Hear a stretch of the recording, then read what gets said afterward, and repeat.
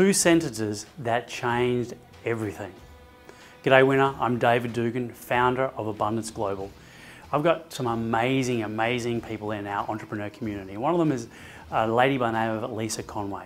Got an incredible business and been doing amazing, amazing thing in the consulting space, in the hair and beauty space. Uh, possibly, uh, arguably the best in the world at what she, what she does.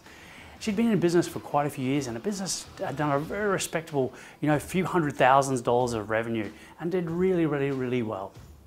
But with these two sentences, she's taken her business from a few hundred thousand dollars in revenue in 18 months to over a million dollars. What were the two sentences? I hear you say.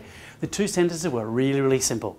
The two sentences were just this, and that is get in line and stay in line. Get in line and stay in line. Now, I was taught this by a mentor of mine, and it, it, was something that challenged me a lot. And I said, what, what is this actually about? What is get in line, stay in line? And how did a business that was doing very well, a few hundred thousand dollars in revenue in 18 months, went over a million dollars? And this is it. It's really simple. Just imagine, imagine you are in a cafeteria and you can see the bain-marie in front of you. You can see all the, the, the, food and all that sort of stuff's all lined up in the middle here and you can choose what it is.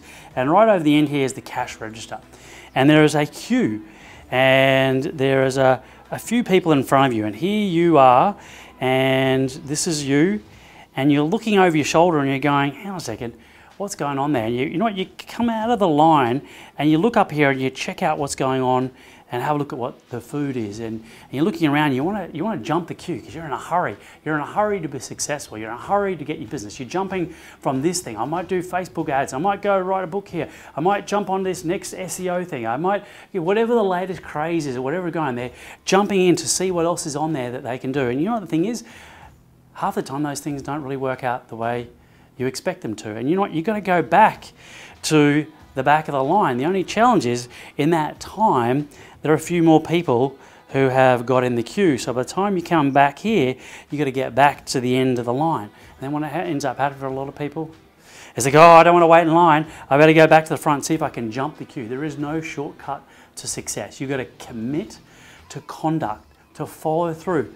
These, these two sentences helped Lisa take her business from a few hundred thousand dollars to over a million dollars in 18 months by committing to following through on all the projects that we've already got. Stop starting and start finishing those projects off. And you know what?